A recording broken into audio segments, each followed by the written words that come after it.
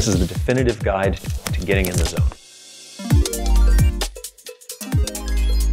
I'm Brett Wingeier. I'm a neuroscientist, biomedical engineer, and athlete. First of all, let's talk about being in the zone, what some people call a flow state. Basically, you're in the state of perfect focus where you're not even consciously thinking about things or processing moment by moment. It's a state of relaxed, high performance. That's the zone. Fact is, anybody can be in the zone. It's not just sports. It's anything where you're able to just do it and block out distractions. Repetition, repetition is the language of the brain, and it's the way you get better at anything. Here's one study. The National Institute Institute of Health put freestyle rappers in an MRI machine while they were freestyling. There was less cognitive control because it didn't need to happen. They were in flow, they were in the zone, they were practicing their craft. When you're first learning something, everything lights up here in the frontal lobes. As you become an expert, then that activity actually goes down. All of that gets moved into the subconscious.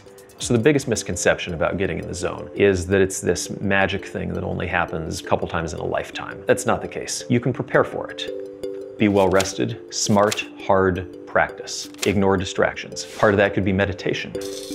Interestingly, caffeine actually does improve performance. You have to find that happy medium. A little's good, a lot's too much. True or false? Sports performance is all about genetics and how big your muscles are. Absolutely false. It's about how well does your brain control them. All those movements that make you an elite basketball player, it's all part of muscle memory. One of the best is this guy, TJ Carrie. He's a cornerback for the Oakland Raiders. We worked with TJ with our product Halo Sport. It's a pair of headphones. It helps speed up firing neurons in the primary motor cortex, which means the brain can take in more information really quickly. And he added nine inches to his vertical leap.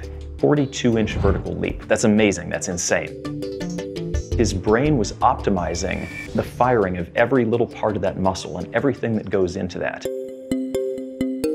Strength is specific. Let's say you're training on a biceps machine. Then what you're really getting best at is just doing that exact thing, is doing that biceps curl. Because it's not just about how big your muscle is. It's about how your brain has learned to use it in exactly that context. And that's why the best physical training is the training that best approximates exactly what you're doing on game day. The thing is, this is relevant to all of us because we all have a brain, we all have a body, we all want to reach our potential. Everybody can have this sensation of, wow, I nailed that.